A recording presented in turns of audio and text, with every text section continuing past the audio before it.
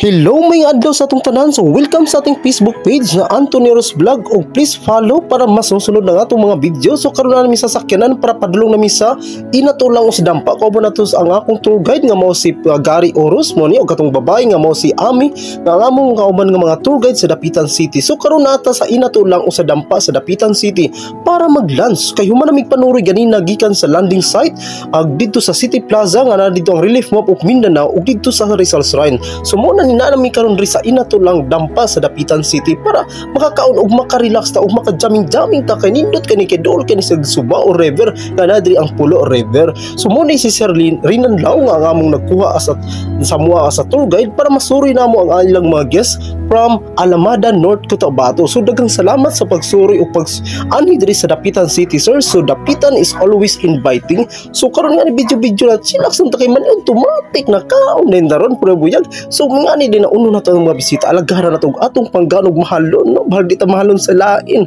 So nga ni siksik ang atong kauban nga tour guide no si Ami so pagsulod pa lang anindot kayo. So nice kay sa view tawa sa sunod pag smiling kayo. So kauban na mo si Gary? So nani mo suroy. So nang lingkod na ready na para maniud to na mga guests no from Alamada no? North Cotabato. Napad yun ang Vice Mayor ani. So naadri ang floating restaurant o para magpa-booking mo para sa river ko. So nice mo kayong view diri no? Ma-relax yun kayo ma-enjoy mo. Gikan mo sa kakapoy sa inyong kahago. Sa kahago niya ay joke na dito. So dapat ito so nga chillax lang video video lang ta para makulata para nga makakaon sila. After ani mga on lang po dayon ta. So karon mo naming plano rin so makarelax na din. So daghaning salamat sa willing one higdapitan i-contact lang ko ninyo para i-tour guide ta mo city tours no? So affordable lang kayo ang atong rate no? As a tour guide. So I am Anthony Oros so inyong accredited tour guide. Hanggang sa muli. Thank you